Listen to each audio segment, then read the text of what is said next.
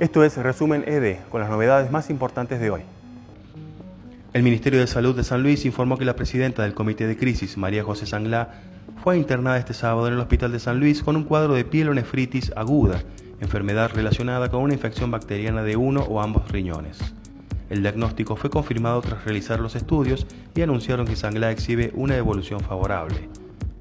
Hoy hubo dos accidentes automovilísticos, uno en Los Puquios y el otro donde se realiza la obra de circunvalación. En Los Puquios, el automóvil volcó, cayó a un barranco y al conductor lo trasladaron en ambulancia al Hospital Juan Gregorio Vivas de Juana Coslay.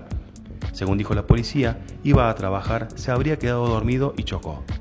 En el otro, perdió el control del vehículo y chocó contra un muro en la ruta 147, donde se realiza la obra de circunvalación de la ciudad de San Luis.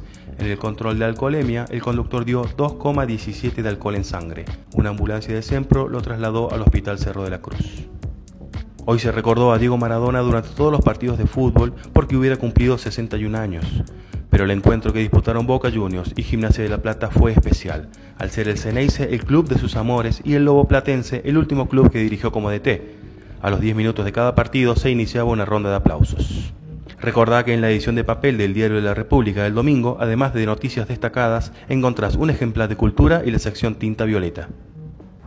Esto fue todo por hoy. Para más información pueden ingresar a eldiariodelarepública.com y a sus redes sociales.